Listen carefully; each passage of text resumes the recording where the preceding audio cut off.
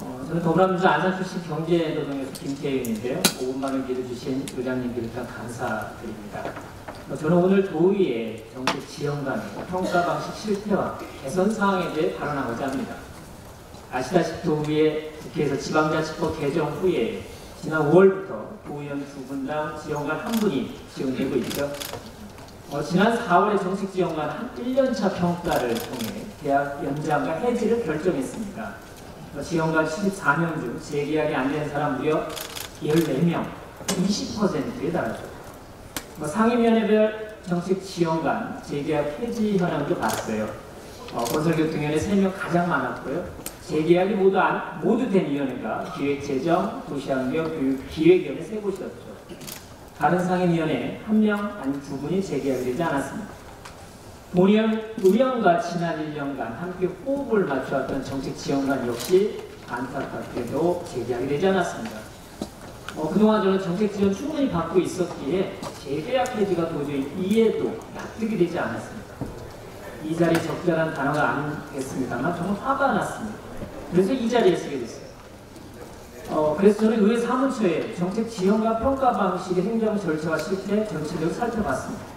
혹시 이 자리에 계신 의원님들 가운데 이에 대한 의회 사무처나 전문위원실 통해 제대로 보거나 안내를 받으셨나 싶습니다.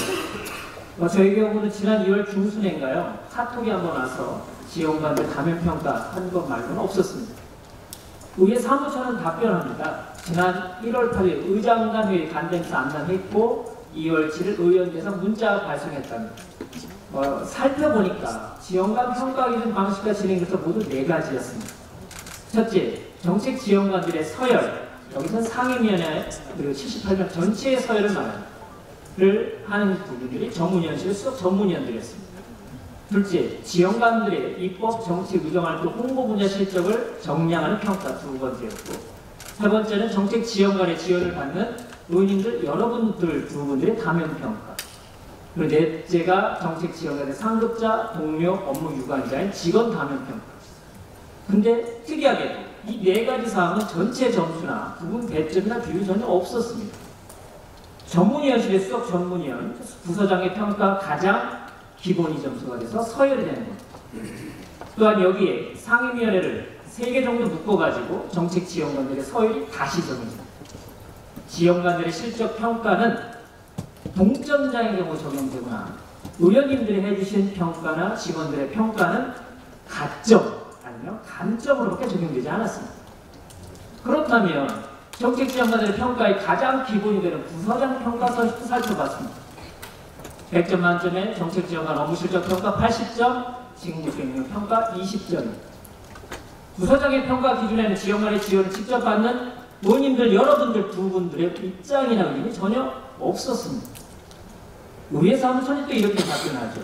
현행 지방 공무원 인사제도 운영 지침에 따라 정책 지원관 역시 임기제 공무원으로 부서장이 직접 근무 평가를 할 수밖에 없다는 겁니다.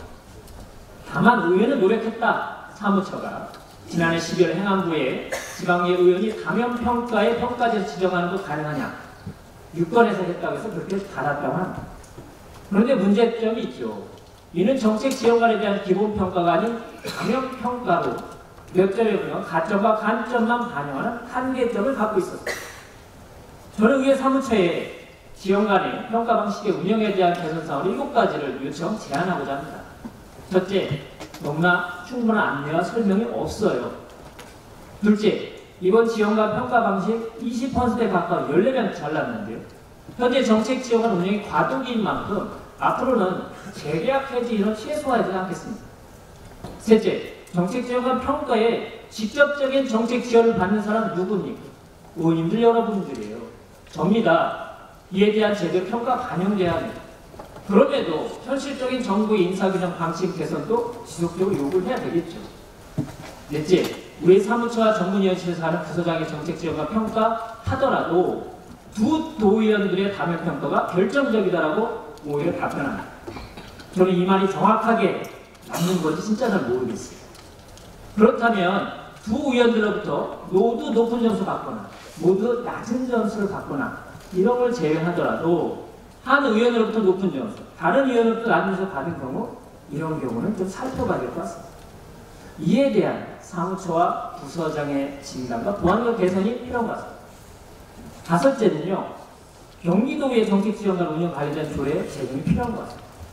어, 저도 이거 생각 못했습니다만 이번 기회에 그 국가법령 시스템을 찾아보니까 전국의 광역 기초의회 관련된 조례가 30여 곳이 있었습니다. 조례는 정책 지원관의 임용과 배치, 직무와 직무 수행의 제한, 교육 훈련, 근무 실적 평가, 비밀 엄수 등이 담겨 있었어요. 전국에서 도의원 정책 지원관 가장 많은 곳 어디입니까? 우리 도의회는 없었습니다. 여섯째, 정책 지원관이 1년 지났습니다.